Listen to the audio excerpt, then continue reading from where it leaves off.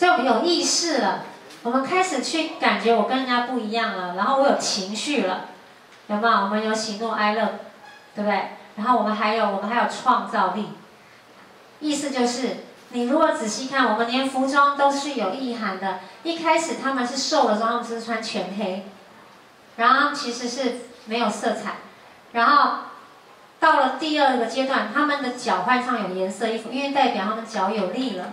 这是一个凸显法，凸示就是凸显这个脚有力，所以每一个人都有自己的裤子，然后但是裤子的颜色不一样。这些人还是一样，上半身还是黑的，然后他们还是穿一样的衣服。那但是接下来下一个阶段就是凝视深渊，他们开始有想法了。在这整段里面，所有的人都在这个深渊里面互相的影响，欲望开始产生。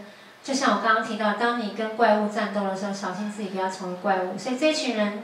在这个深渊里面，还没有上到他的所谓的超人的境界，他们已经在下面搅和成一团了，已经发展了很多我们所谓的人世的人世间各种的纷乱。凝视深渊，这里，好，这一段凝视深渊，那我们要请舞者来呈现人的段落，然后这个段阶段呢，你会看到他们开始用到了，还是用到手，可他们手变灵活了。